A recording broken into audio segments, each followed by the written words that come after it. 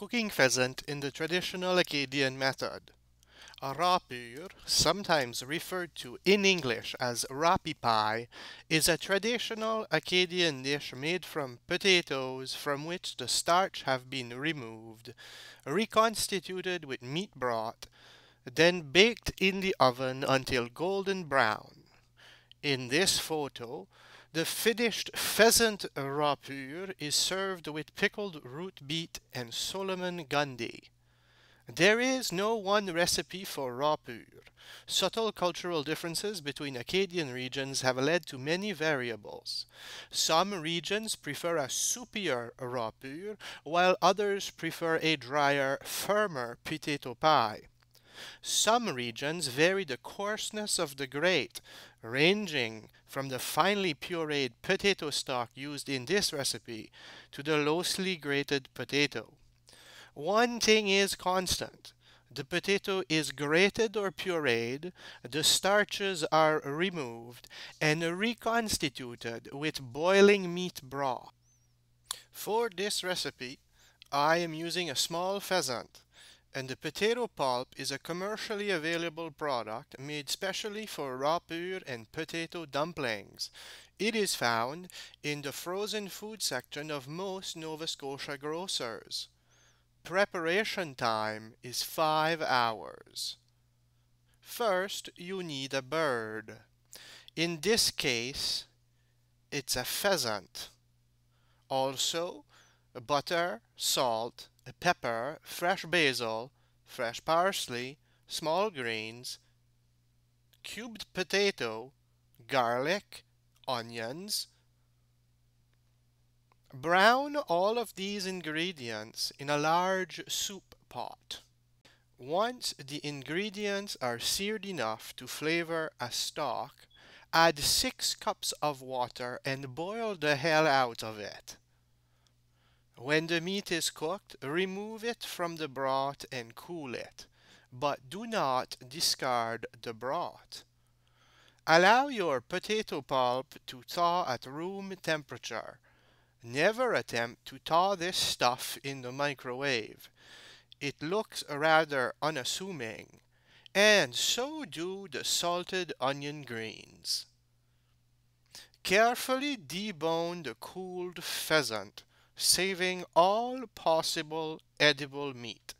A rapure is intended to be a very frugal dish, making the most of its ingredients with very little waste.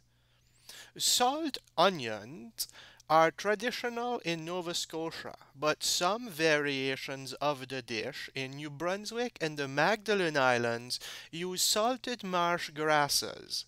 Uh, parsley is more commonly used in Nova Scotia, but in New Brunswick you will see summer savory, particularly in the areas where the plant grows wild. All of Rapure's pieces are ready to come together. A potato, pheasant, salt onion greens, onions and parsley. Gather the potato, onion greens, chopped onion, and parsley in a large bowl.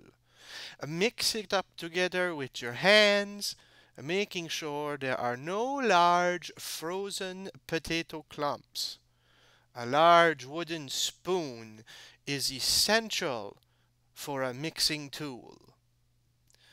Bring your remaining broth to a roaring boil. Add water if you need, because for this next part we need 7 to 8 cups of broth. Add the boiling broth to the potato mixture 2 cups at a time. Mix together with the wooden spoon until it is consistent. Repeat this step for each 2 cups of broth. Do not add all the boiling broth at once this will spoil your rapure. Continue adding two cups at a time, mixing thoroughly each time. Through the wooden spoon, the mixture will at first seem to harden, then become runnier as more broth is added. This is where most people stop adding broth And that is the most common mistake for a failed rapure. Continue adding two cups at a time until the mixture begins to set. This happens because the potato has begun to cook from the heat of the broth. At this point, when your mixture is ready, your arm will be sore. If it isn't, you have not mixed it enough. Because the potato has become more solid, the wooden spoon will have no problem standing up by itself.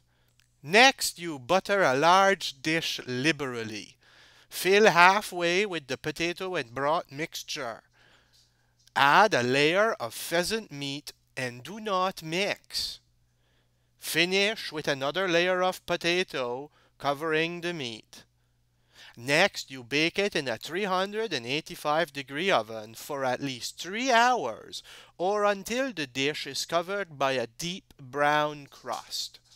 Serve it with molasses, butter, salt, and pepper to taste.